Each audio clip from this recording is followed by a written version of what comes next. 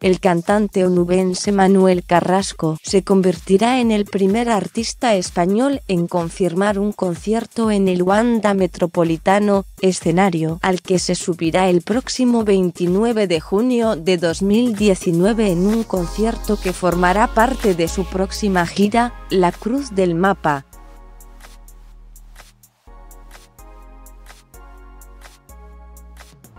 Tras un tiempo de descanso, Carrasco vuelve a reunirse con sus fans después de arrasar con Bailar el Viento Tour, del que se vendieron más de 300.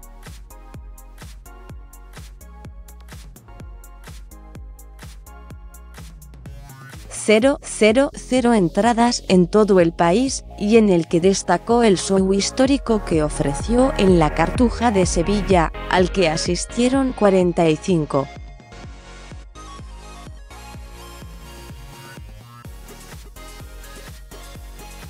000 personas.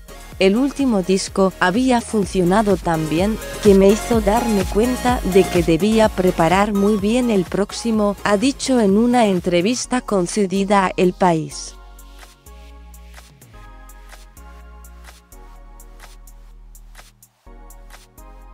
Para ello, se alejó de los medios durante un año y aprovechó para formar una preciosa familia, junto a la periodista Almudena Navalón, con quien acaba de casarse.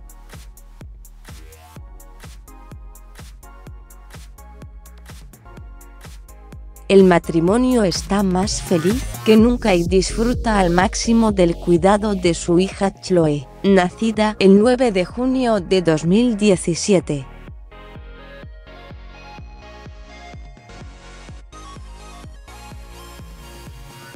El cantante, de 38 años, presume de una gran carrera artística, sin embargo, su trayectoria no ha sido un camino de rosas.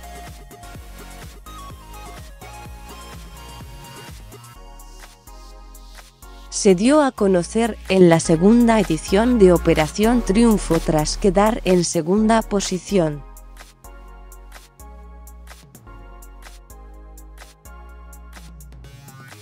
Fue un momento muy importante en mi vida, pero lo que vino después fue muy complicado porque me sentí muy solo, asegurado en dicha publicación.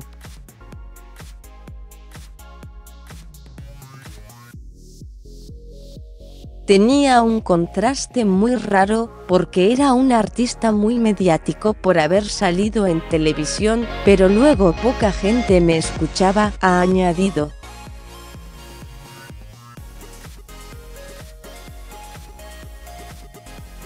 Manuel Carrasco se mantuvo fiel a su estilo con su primer disco, Quiéreme, con el que recorrió pequeñas salas de conciertos.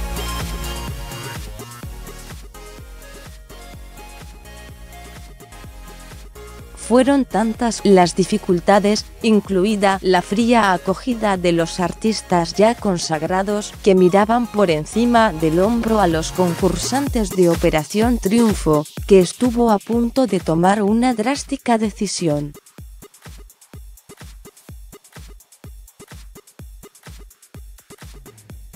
Ahora, el tiempo me ha dado la razón, pero en algunos momentos me planteé dejar la música, ha confesado.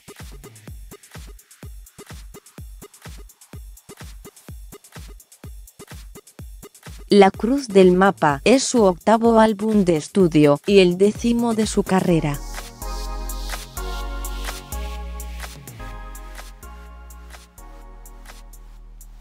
El disco ha sido grabado en los míticos estudios británicos de Abbey Road, donde se fraguó la leyenda de TV Atlas, algo que supuso un sueño para el músico.